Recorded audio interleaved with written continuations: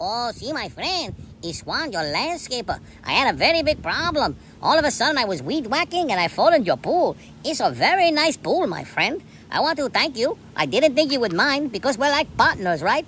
Oh, yeah, and by the way, you had a of cerveza.